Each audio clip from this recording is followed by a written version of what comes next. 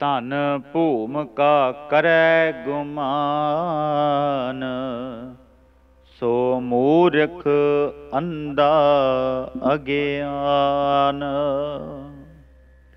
ਗੁਰਮਖੋ, ਧੰਨ Guru Gobind Singh ji channel subscribe ਕਰ ਲਿਓ ਤੇ ਵੀਡੀਓ ਨੂੰ ਸ਼ੇਅਰ ਕਰਿਓ। ਲਾਈਕ ਤੇ ਕਮੈਂਟ ਵੀ ਜਰੂਰ ਕਰਿਆ ਕਰੋ ਸੰਗਤ ਜੀ। ਕੁਝ ਬੇਨਤੀਆਂ ਅੱਜ ਆਪਾਂ ਸਾਂਝੀਆਂ ਕਰਨ ਜਾ ਰਹੇ ਹਾਂ। ਗੁਰੂ ਕਿਰਪਾ ਸਦਕਾ। ਗੁਰਮਖੋ, ਰੂਸ ਤੇ ਯੂਕਰੇਨ ਦੀ ਲੜਾਈ 'ਚ ਹੋਵੇਗਾ ਇਹਨਾਂ ਦੇਸ਼ਾਂ ਦਾ ਨੁਕਸਾਨ। ਇਸ ਭਿਆਨਕ ਤਬਾਹੀ ਬਾਰੇ ਗੁਰੂ ਸਾਹਿਬ ਨੇ ਪਹਿਲਾਂ ਵੀ ਕਿਹਾ ਸੀ ਤੇ ਗੁਰਮਖੋ, ਅੱਜ ਕੁਝ ਬੇਨਤੀਆਂ ਆਪਾਂ ਸਾਂਝੀਆਂ ਕਰਨੀਆਂ ਨੇ। ਇਸੇ ਬਾਬਤ ਕਿਉਂਕਿ ਜਿਹੜਾ ਬਹੁਤ ਵੱਡਾ ਇੱਕ ਯੁੱਧ ਹੈ, ਜਿਹਨੂੰ ਤੀਸਰਾ ਵਿਸ਼ਵ ਯੁੱਧ ਦੇ ਜਿਹੜੀ ਹੈ, ਨਾਮ ਦਿੱਤਾ ਜਾ ਰਿਹਾ ਹੈ। ਰੂਸ ਤੇ ਯੂਕਰੇਨ ਦਾ ਕੁਝ ਬੇਨਤੀਆਂ ਸਾਂਝੀਆਂ ਕਰਨ ਆਪਾਂ ਲੱਗੇ ਆ ਪਾਤਸ਼ਾਹ, ਕਿਰਪਾ ਕਰਨ, ਫਤਿਹ ਬੁਲਾਓ, ਆਖੋ ਜੀ, ਵਾਹਿਗੁਰੂ ਜੀ ਕਾ ਖਾਲਸਾ, ਵਾਹਿਗੁਰੂ ਜੀ ਕੀ ਫਤਿਹ। ਗੁਰਮੁਖ ਪਿਆਰਿਓ, ਰੂਸ ਤੇ ਯੂਕਰੇਨ ਦੇ ਵਿੱਚ ਜੋ ਭਾਰੀ ਜੰਗ ਚੱਲ ਰਿਹਾ ਹੈ, ਤੁਸੀਂ ਸਾਰੇ ਸੋਸ਼ਲ ਮੀਡੀਆ ਨਾਲ ਜੁੜੇ ਹੋਏ ਹੋ, ਖਬਰਾਂ ਵੇਖਦੇ ਹੋ ਤੇ ਪਲ ਪਲ ਦੀ ਖਬਰ ਜਿਹੜੀ ਹੈ, ਉਹ ਤੁਹਾਡੇ ਤੱਕ ਪਹੁੰਚਦੀ ਹੈ। ਗੁਰਮਖੋ, ਕਿੰਨੇ ਬੁਰੇ ਹਾਲਾਤ ਨੇ ਔਰ ਇੰਨੇ ਬੁਰੇ ਹਾਲਾਤਾਂ ਦੇ ਵਿੱਚ ਵੀ ਮੈਂ ਇੱਕ ਬੇਨਤੀ ਕਰਨੀ ਜਾ ਰਿਹਾ, ਕਿਉਂਕਿ ਖਾਲਸਾ ਏਡ ਜਿਹੜਾ ਗੁਰੂ ਕਾ ਲੰਗਰ ਹੈ ਨਾ, ਗੁਰੂ ਕਾ ਲੰਗਰ ਯੂਕਰੇਨ ਦੇ ਵਾਸੀਆਂ ਦੇ ਲਈ ਪਹੁੰਚ ਗਿਆ ਗੁਰੂ ਨਾਨਕ ਪਾਤਸ਼ਾਹ ਦਾ ਲੰਗਰ। ਜਿਹੜੇ ਕਹਿੰਦੇ ਨੇ ਜੀ ਇਦਾਂ ਹੋ ਗਿਆ ਜੀ ਇਦਾਂ ਇਹ ਸਿੱਖ 2% ਹੀ ਨੇ, ਇਹ ਨੇ, ਉਹ ਅੱਜ ਕਿੱਥੇ ਲੁਕ ਕੇ ਬੈਠ ਗਏ? ਕਿੱਥੇ ਥਿਪ ਗਏ ਉਹ ਲੋਕ?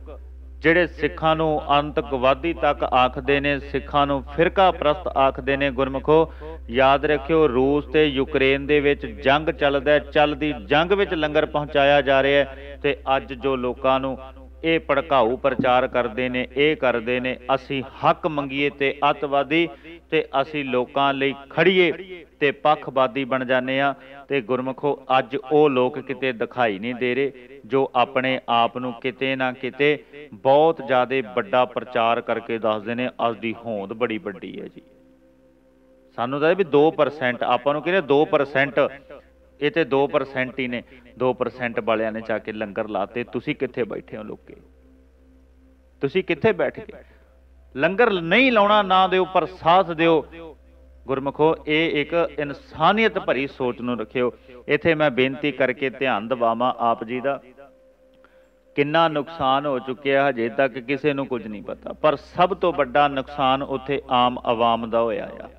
ਸਭ ਤੋਂ ਵੱਡਾ ਨੁਕਸਾਨ। ਲੋਕ ਘਰ ਤੋਂ ਬੇਘਰ ਹੋ ਗਏ। ਛੋਟੇ ਛੋਟੇ ਬੱਚੇ ਯਤੀਮ ਹੋ ਗਏ। ਬੜੇ ਲੋਕ ਮਾਰੇ ਜਾ ਚੁੱਕੇ ਨੇ। ਹਜੇ ਜੰਗ ਜਾਰੀ ਹੈ। ਹਜੇ ਇਹ ਨਹੀਂ ਪਤਾ ਕਿੰਨਿਆਂ ਕੁ ਦੀ ਮੌਤ ਹੈ। ਮੈਂ ਬੇਨਤੀ ਕਰੂੰਗਾ ਸਾਡੇ ਪੰਜਾਬੀ, ਹੋਰ ਵੀ ਦੇਸ਼ਾਂ ਦੇ, ਅਰਬ ਕੰਟਰੀਆਂ ਦੇ ਉੱਥੇ ਬੈਠੇ ਨੇ। ਹਰ ਕੋਈ ਆਪਣੇ ਮੁਲਕ ਨੂੰ ਗੁਹਾਰ ਲਗਾ ਰਿਹਾ। ਸਾਨੂੰ ਇਥੋਂ ਕੱਢੋ। ਮੈਂ ਕਹਿੰਨਾ ਉਥੋਂ ਨਿਕਲਣ ਦੀ ਬਜਾਏ ਇੱਕ ਕੰਮ ਕਰੋ, ਉਥੋਂ ਦੀ ਫੌਜ ਦਾ ਸਾਥ ਦਿਓ। ਜਦੋਂ ਡਾਲਰ ਕਮਾਣੇ ਆ, ਉਦੋਂ ਆਪਾਂ ਨੂੰ ਯੂਕਰੇਨ ਚੰਗਾ ਲੱਗਦਾ ਸੀ। ਤੇ ਅੱਜ ਮੁਸੀਬਤ ਪੈ ਗਈ, ਉਥੋਂ ਭੱਜੋ। ਨਹੀਂ, ਯੂਕਰੇਨ ਦਾ ਨਮਕ ਖਾਦਾ ਤੇ ਨਮਕ ਖਾ ਕੇ ਹਰਾਮ ਨਹੀਂ, ਆਪਾਂ ਹਲਾਲ ਕਰਨਾ ਸਾਡੀ ਕੌਮ ਭੀੜ ਪਿਆਂ ਤੇ ਭੱਜਣ ਵਾਲੀ ਨਹੀਂ, ਡਟ ਕੇ ਸਾਹਮਣਾ ਕਰਨ ਵਾਲੀ ਹੈ। ਉੱਥੇ ਦੂਸਰਿਆਂ ਨੂੰ ਵੀ ਇਹ ਹੌਸਲਾ ਦਿਓ। ਮਤ ਭੱਜੋ। ਕਹੋ ਉੱਥੇ, ਕੋਈ ਗੱਲ ਨਹੀਂ, ਅਸੀਂ ਨਾਲ ਖਲੋਏ ਆ ਜਿੰਨੇ ਜੋਗੇ ਆ ਇੱਥੇ ਆਣ ਕੇ ਮੰਜੇ ਤੇ ਪੈ ਕੇ ਬਿਮਾਰੀ ਨਾਲੋਂ ਕਿਸੇ ਹੋਰ ਕਾਰਨ ਨਾਲ ਮਰਨ ਨਾਲੋਂ ਚੰਗਾ ਜੰਗ ਦੇ ਮੈਦਾਨ ਦੇ ਵਿੱਚ ਆਪਾਂ ਜੂਝ ਕੇ ਮਰੀਏ ਤੇ ਸਦੀਆਂ ਤੱਕ ਸਾਡਾ ਨਾਮ ਗੂੰਜਦਾ ਰਹੇਗਾ। ਜੇ ਗੱਲ ਗਲਤ ਹੈ ਜੀ, ਦੱਸੋ। ਗੁਰਮਖੋ, ਰੂਸ ਤੇ ਯੂਕਰੇਨ ਦਾ ਜੰਗ ਹੀ ਨਹੀਂ, ਇਹ ਮਤ ਸਮਝਿਓ ਵੀ ਉਹਨਾਂ ਦੇਸ਼ਾਂ ਵਿੱਚ ਜੰਗ ਛਿੜੀ ਹੋਈ ਹੈ। ਇਹ ਜੰਗ ਇਹ ਜੰਗ ਦੇ ਜਿਹੜੇ ਘਾਟੇ ਨੇ ਅਸਾਰ ਨੇ, ਉਹ ਹੋਰ ਦੇਸ਼ਾਂ ਨੂੰ ਵੀ ਭੁਗਤਣੇ ਪੈ ਸਕਦੇ ਨੇ। ਇਹ ਜੰਗ ਦੇ। ਅਮਰੀਕਾ ਤੇ ਕਿਤੇ ਨਾ ਕਿਤੇ ਇਹ ਜੰਗ ਦੀ ਜਿਹੜੀ ਗੱਲ ਹੈ, ਉਹ ਭਾਰਤ ਨੂੰ ਵੀ ਖਮਿਆਜਾ ਭੁਗਤਣਾ ਪੈ ਸਕਦਾ ਹੈ। ਭਾਰਤ ਤੱਕ ਵੀ ਇਹ ਅੱਗ ਦਾ ਸੇਕ ਆ ਸਕਦਾ ਹੈ, ਜੋ ਅੱਗ ਯੂਕਰੇਨ ਦੇ ਵਿੱਚ ਲੱਗੀ ਹੋਈ ਹੈ। ਰੂਸ ਨੇ ਤਬਾਹੀ ਕੀਤੀ ਹੈ। ਯਾਦ ਰੱਖਿਓ, ਇਹ ਚੀਜ਼ਾਂ ਕਿੰਨਾ ਚਿਰ ਅਸੀਂ ਸਹਿੰਦੇ ਰਵਾਂਗੇ? ਕਿੰਨਾ ਚਿਰ ਇਹ ਚੀਜ਼ਾਂ ਸਾਡੇ ਵਿੱਚੋਂ ਹੋਣਗੀਆਂ ਤੇ ਰੂਸ ਤੇ ਯੂਕਰੇਨ ਦਾ ਕਿ ਕੇਵਲ ਇੱਕ ਇੱਕ ਫਿਰਕੇ ਦੀ ਗੱਲ ਨਹੀਂ, ਇੱਕ ਦੇਸ਼ ਦੀ ਗੱਲ ਨਹੀਂ, ਗੁਰਮਖੋ ਸਭ ਤੋਂ ਵੱਡੀ ਗੱਲ ਹੈ, ਉੱਥੇ ਇਨਸਾਨੀਅਤ ਮਰ ਰਹੀ ਹੈ। ਜੰਗ ਕਾਦੇ ਲਈ ਹੋਇਆ? ਰੂਸ ਕਹਿੰਦਾ ਇਹ ਜ਼ਮੀਨ ਸਾਡੀ ਹੈ, ਇਹ ਮੁਲਕ ਸਾਡਾ ਆ, ਤੁਸੀਂ ਨਿਕਲੋ ਇੱਥੋਂ, ਜ਼ਬਰਦਸਤੀ ਹੋ ਰਹੀ ਹੈ। ਕੋਈ ਆਪਣੇ ਘਰ ਦੇ ਵਿੱਚੋਂ ਸਾਨੂੰ ਬਾਹ ਫੜ ਕੇ ਕੱਢੇ, ਆਪਾਂ ਚੁੱਪਚਾਪ ਤੁਰ ਜਾਾਂਗੇ। ਜਵਾਬੀ ਹਮਲਾ ਤੇ ਦਵਾਂਗੇ ਨਾ ਆਪਾਂ, ਕਰਾਂਗੇ। ਵੀ ਅਸੀਂ ਕਿਉਂ ਜਾਈਏ? ਜਵਾਬ ਤੇ ਦੇਵਾਂਗੇ ਨਾ ਯੂਕਰੇਨ ਦੇ ਲੋਕ ਉਹੀ ਕਰ ਰਹੇ ਨੇ। ਆਪਣੇ ਘਰ ਵਿੱਚ ਰਹਿਣ ਦੇ ਵਾਸਤੇ ਜੂਝ ਰਹੇ ਨੇ। ਆਪਣੀ ਆਜ਼ਾਦੀ ਦੇ ਲਈ ਜੂਝ ਰਹੇ ਨੇ। ਮੈਂ ਪਰਮਾਤਮਾ ਅੱਗੇ ਅਰਦਾਸ ਕਰਦਾ, ਤੁਸੀਂ ਵੀ ਕਰਿਓ ਕਿ ਰੂਸ ਦੇ ਲੋਕ, ਰੂਸ ਦੀ ਆਰਮੀ ਤੇ ਰੂਸ ਦੇ ਨੁਮਾਇੰਦੇ ਕੁਝ ਆਗੂ ਲੀਡਰ ਹੋਸ਼ ਕਰਨ ਇਨਸਾਨੀਅਤ ਪ੍ਰਤੀ ਉਹਨਾਂ ਦੇ ਮਨ ਵਿੱਚ ਚੰਗਿਆਈ ਆਵੇ ਤੇ ਇਹ ਜੰਗ ਕਿਸੇ ਪ੍ਰਕਾਰ ਰੁਕ ਜਾਏ ਤੇ ਯੂਕਰੇਨ ਦਾ ਹੋਰ ਨੁਕਸਾਨ ਨਾ ਹੋਵੇ ਤੇ ਉੱਥੋਂ ਦੇ ਰਹਿਣ ਵਾਲੇ ਕਿਸੇ ਵੀ ਪੰਜਾਬੀ ਦਾ, ਗੈਰ ਦਾ, ਕੋਈ ਵੀ ਵਿਅਕਤੀ ਦਾ ਨੁਕਸਾਨ ਨਾ ਹੋਵੇ। ਜਾਨੀ ਮਾਨੀ ਹਾਨੀ ਕਿਸੇ ਦੀ ਨਾ ਹੋਵੇ ਕਿ ਹਰ ਕੋਈ ਬੰਦਾ ਸੇਫ ਰਵੇ, ਖੁਸ਼ ਰਵੇ, ਬੱਚੇ ਯਤੀਮ ਨਾ ਹੋਣ। ਤੋਪਾਂ ਦੇ ਗੋਲੇ ਦਾਗ ਦਾਗ ਕੇ ਕਿੰਨਿਆਂ ਕੁ ਨੂੰ ਮਾਰਿਆ ਗਿਆ ਤੇ ਮੈਂ ਕਹਿੰਦਾ, ਚਲੋ, ਜੋ ਹੋਇਆ ਬਸ ਬਹੁਤ ਹੋ ਗਿਆ, ਹੁਣ ਹੋਰ ਅੱਗੇ ਜੰਗ ਨਾ ਚੱਲੇ, ਹੋਰ ਕੋਈ ਬੱਚਾ ਯਤੀਮ ਨਾ ਹੋਵੇ, ਕੋਈ ਹੋਰ ਜਿਹੜਾ ਆ ਐਸੀ ਭੈੜੀ ਮੌਤ ਨਾ ਮਰੇ। ਕੁਝ ਨਾ ਹੋਵੇ ਇਹੋ ਜਿਹਾ। ਗੁਰਮਖੋ, ਜੇ ਆਪਾਂ ਕਹੀਏ ਵੀ ਇਹ ਜੰਗ ਕਿਉਂ ਲੱਗੀ? 2022 ਦੇ ਵਿੱਚ ਵਿਸ਼ਵ ਯੁੱਧ ਲੱਗਣਾ ਸੀ, ਕੁਝ ਜੰਗ ਲੱਗਣੀ ਸੀ, ਤੇ ਉਹ ਜੰਗ ਅੱਜ ਸਾਹਮਣੇ ਆ ਗਈ ਰੂਸ ਤੇ ਯੂਕਰੇਨ ਵਿੱਚ ਕਿ ਦੁਨੀਆ ਦਾ ਭਾਵੇਂ ਕੋਈ ਵੀ ਖਿੱਤਾ ਹੋਵੇ, ਆਈ ਸਾਹਮਣੇ ਆਈ। ਪਾਸ਼ਾ ਨੇ ਕਿਹਾ ਸੀ, ਤੀਸਰਾ ਵਿਸ਼ਵ ਯੁੱਧ ਹੋਣਾ ਹੈ। ਹੁਣ ਲੋਕ ਕਹਿ ਰਹੇ ਨੇ ਤੀਸਰਾ ਵਿਸ਼ਵ ਯੁੱਧ। ਮੈਂ ਬੇਨਤੀ ਕਰੂੰਗਾ, ਤੀਸਰਾ ਵਿਸ਼ਵ ਯੁੱਧ ਨਹੀਂ, ਉਹ ਵਿਸ਼ਵ ਯੁੱਧ ਦੀ ਸਥਿਤੀ ਤੇ ਰਣਨੀਤੀ ਕੁਝ ਹੋਰ ਹੋਵੇਗੀ। ਇਹ ਤੀਸਰਾ ਵਿਸ਼ਵ ਯੁੱਧ ਨਹੀਂ ਹੈ। ਮਾੜਾ ਜਿਹਾ ਯੁੱਧ ਹੈ ਕੇਵਲ। ਮੈਂ ਬੇਨਤੀ ਕਰੂੰਗਾ, ਇਸ ਮਾੜੇ ਜਿਹੇ ਯੁੱਧ ਨੇ ਪੂਰੀ ਦੁਨੀਆ ਨੂੰ ਹਲਾਤਾ। ਵਿਸ਼ਵ ਯੁੱਧ ਹੋਇਆ ਤੇ ਆਪਣੇ ਹਾਲਾਤ ਕਿਹੋ ਜਿਹੇ ਹੋਣਗੇ, ਅਨੁਮਾਨ ਲਾ ਕੇ ਵੇਖਿਓ। ਲਾਇਓ ਅਨੁਮਾਨ ਕਦੇ। ਗੁਰਮਖੋ, ਪਾਤਸ਼ਾਹ ਕਹਿੰਦੇ ਨੇ, ਕਿਉਂ ਹੋ ਰਿਹਾ ਜੰਗ? ਇੱਕ ਜ਼ਮੀਨ ਦੇ ਖਿੱਤੇ ਇੱਕ ਟੁਕੜੇ ਨੂੰ ਲੈ ਕੇ।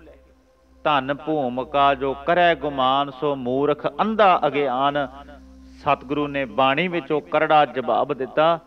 ਪਾਤਸ਼ਾਹ ਕਹਿੰਦੇ ਨੇ ਧਨ ਭੂਮਿਕਾ ਪੈਸੇ ਦਾ। ਜ਼ਮੀਨ ਦਾ ਪ੍ਰਾਪਰਟੀ ਦਾ ਜੇ ਕੋਈ ਹੰਕਾਰ ਕਰਦਾ ਉਹਦੇ ਵਰਗਾ ਮੂਰਖ ਬੰਦਾ ਕੋਈ ਨਹੀਂ। ਉਹਦੇ ਵਰਗਾ ਮੂਰਖ ਇਨਸਾਨ ਕੋਈ ਨਹੀਂ ਜਿਹੜਾ ਇਹੋ ਜੀ ਆਪਣੀ ਸੋਚ ਰੱਖਦਾ ਤੇ ਸੱਜਣੋ ਸਤਿਗੁਰੂ ਕਹਿੰਦੇ ਨੇ, ਬਿਲਕੁਲ ਨਹੀਂ, ਜਿਹਦੇ ਵਿੱਚ ਇਨਸਾਨੀਅਤ ਦਾ ਘਾਣ ਹੋਵੇ, ਕਤਲੋਗਾਰਤ ਹੋਵੇ, ਸਤਿਗੁਰੂ ਕਹਿੰਦੇ ਨੇ, ਇਹੋ ਜਿਹੇ ਇਨਸਾਨ ਦੀ ਸੋਚ ਤੇ ਤੇ ਤਰਕਾਰ ਹੈ। ਰੂਸ ਜੇ ਇੱਕ ਗੱਲ ਵੇਖ ਲੈਂਦਾ, ਸੋਚ ਲੈਂਦਾ, ਤੇ ਅੱਜ ਯੂਕਰੇਨ ਦੀ ਇਹ ਹਾਲਤ ਨਾ ਹੁੰਦੀ, ਤੇ ਯੂਕਰੇਨ ਵਾਸੀਆਂ ਦੇ ਇਹ ਜਿਹੜੇ ਮੌਜੂਦਾ ਹਾਲਾਤ ਨਾ ਹੁੰਦੇ, ਜੋ ਆਪਾਂ ਵੇਖ ਰਹੇ ਹਾਂ, ਜੋ ਆਪਾਂ ਨੂੰ ਵੇਖਣ ਨੂੰ ਮਿਲ ਰਹੇ ਨੇ। ਇਹ ਹਾਲਾਤ ਬੜੇ ਗੰਭੀਰਤਾ ਵਾਲੇ ਨੇ। ਇਹ ਹਾਲਾਤ ਬੜੇ ਹੀ ਜ਼ਿਆਦਾ ਸਾਨੂੰ ਚਿੰਤਾ ਵਿੱਚ ਪਾਉਣ ਵਾਲੇ ਨੇ। ਗੁਰਮਖੋ, ਯਾਦ ਰੱਖਿਓ, ਇਹ ਹਾਲਾਤ ਕਦੇ ਨਾ ਕਦੇ ਸਾਡੇ ਤੇ ਵੀ ਬਣੇ ਸੀ। ਪਹਿਲੋ ਤੇ ਰੱਬ ਨਾ ਕਰੇ ਸਾਡੇ ਤੇ ਅੱਗੇ ਇਹੋ ਜਿਹੇ ਹਾਲਾਤ ਬਣਨ। ਮਿਲ ਕੇ ਹੰਬਲਾ ਮਾਰੀਏ, ਅਰਦਾਸ ਕਰੀਏ। ਪਾਤਸ਼ਾਹ ਨੂੰ ਕਹੀਏ ਕਿ ਸਤਿਗੁਰੂ, ਸਾਡੇ ਉੱਥੇ ਰਹਿਣ ਵਾਲੇ ਕੋਈ ਵੀ ਹੈ, ਉੱਥੇ ਚਾਹੇ ਗੋਰੇ ਨੇ, ਕੋਈ ਵੀ ਹੈ, ਕੋਈ ਵੀ ਰਹਿਣ ਵਾਲਾ ਨਿਰਦੋਸ਼ ਵਿਅਕਤੀ, ਆਮ ਜਨਤਾ, ਉਹ ਵੀ ਗੁਰੂ ਕੀ ਇੱਕ ਸੰਗਤ ਹੈ, ਪਿਆਰਿਓ, ਅਰਦਾਸ ਕਰਿਓ ਕਿ ਕਿਸੇ ਨੂੰ ਕੁਝ ਨਾ ਹੋਵੇ, ਹਰ ਕੋਈ ਬੰਦਾ ਸੇਫ ਰਹੇ, ਆਪੋ ਆਪਣੇ ਘਰਾਂ ਦੇ ਵਿੱਚ ਸੁਰੱਖਿਅਤ ਰਹੇ। ਅਰਦਾਸ ਕਰਿਓ ਪਾਤਸ਼ਾਹ ਨੂੰ। ਇਹ ਚੀਜ਼ਾਂ ਸਾਨੂੰ ਬਿਲਕੁਲ ਸੁਚੇਤ ਕਰਦੀਆਂ ਨੇ, ਇਨਸਾਨੀਅਤ ਦੇ ਪ੍ਰਤੀ, ਇਨਸਾਨੀਅਤ ਚੰਗੀ ਸੋਚ ਦੇ ਪ੍ਰਤੀ ਪ੍ਰੇਰਿਤ ਕਰਦੀਆਂ ਨੇ। ਆਪਾਂ ਇਹਨਾਂ ਚੀਜ਼ਾਂ ਨੂੰ ਸਮਝ ਕੇ ਆਪਣੇ ਅੰਦਰ ਇਨਸਾਨੀਅਤ ਪ੍ਰਤੀ ਪਿਆਰ ਪੈਦਾ ਕਰੀਏ, ਚੰਗੇ ਇਨਸਾਨ ਬਣੀਏ ਤੇ ਇਸ ਜੰਗ ਯੁੱਧ ਦਾ ਵਿਰੋਧ ਅਸੀਂ ਡਟ ਕੇ ਕਰੀਏ ਕਿ ਰੂਸ ਅੱਜ ਯੂਕਰੇਨ ਤੇ ਹਮਲਾ ਕਰ ਰਿਹਾ, ਉਹ ਦਿਨ ਦੂਰ ਨਹੀਂ ਜਦੋਂ ਕਿਤੇ ਸਾਡੀ ਵੀ ਵਾਰੀ ਆ ਸਕਦੀ ਹੈ, ਕਿਉਂਕਿ ਮੂੰਹ ਪਿਆ ਬੰਦਾ ਹਮੇਸ਼ਾ ਦੂਸਰੇ ਪਾਸੇ ਨੂੰ ਵੱਧਦਾ ਹੁੰਦਾ ਹੈ। ਯੂਕਰੇਨ ਤੋਂ ਬਾਅਦ ਭਾਰਤ ਵੱਲ ਨੂੰ ਵੀ ਹੋ ਸਕਦੇ ਨੇ, ਇਹ ਗੱਲ ਕਦੇ ਨਾ ਭੁੱਲਿਓ, ਕਿਸੇ ਹੋਰ ਦੇਸ਼ ਵੱਲ ਨੂੰ ਹੋਣਗੇ।